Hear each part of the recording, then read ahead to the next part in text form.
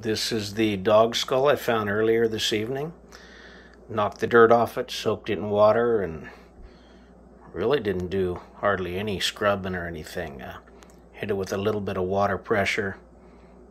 Anyway, this skull is uh, to an older dog, medium size, I'm thinking 50 pounder maybe, uh, when it was alive, and teeth are very worn. It's missing a premolar on its right side the damage I thought was caused by possibly a bullet hole that I was uh, talking about earlier on the other video. It looks like a blunt force trauma here, this part of the skull. Whatever it was, it also broke the arch around the eye that should look like that. It's missing, zygomatic arch. Uh, probably what killed this animal.